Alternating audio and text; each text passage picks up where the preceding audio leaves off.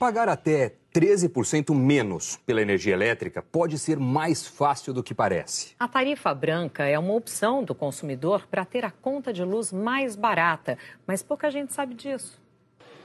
Quanto você paga na conta de luz? 200 reais. E a senhora sabia que podia pagar menos do que isso aderindo a uma tarifa diferente? Não. Eu não sabia que tinha uma coisa mais econômica, não tem? Tem. Mas como a Gabriela e a Rosemary, muita gente não sabe. Desde janeiro do ano passado, os consumidores podem optar por uma tarifa mais baixa para a conta de luz. Ela é mais vantajosa para quem consome mais energia durante o dia. Quem consegue priorizar o uso de máquina de lavar, ferro de passar, chuveiro elétrico até o fim de tarde, consegue pagar menos se pedir para mudar para tarifa branca.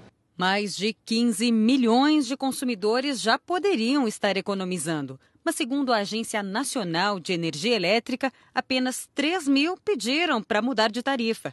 A agência reconhece que faltou divulgação, mas acredita que agora a procura vai crescer. Diante da divulgação dessa medida, nós acreditamos que o consumidor tem uma possibilidade maior de reduzir a sua conta de luz. Na tarifa branca, o preço da energia é mais barato do que no sistema convencional durante toda a madrugada, de manhã e à tarde.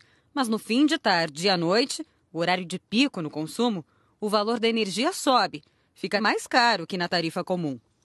No fim da noite, o preço da energia volta a cair e fica abaixo da tarifa convencional até o fim da tarde do dia seguinte. São 19 horas com desconto. Essa medida só vai funcionar para aquele consumidor que consiga deslocar o seu consumo de energia da noite para as demais horas do dia.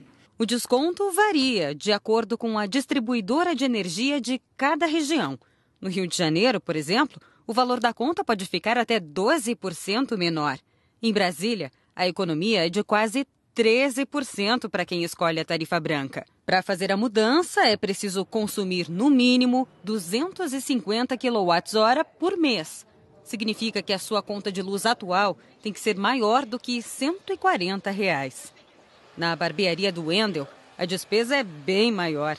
A última conta de luz foi de mais de R$ 1.400. Ele fez a simulação e descobriu que pode economizar 50 reais por mês com a tarifa branca. Eu fiquei surpreso. Vamos pensar por ano, né? São 600 reais no ano, então é uma diferença boa. A ANEEL, Agência Nacional de Energia Elétrica, explicou que cabe ao consumidor aderir ou não à tarifa branca e que, em caso positivo, ele deve procurar a concessionária de energia da sua região.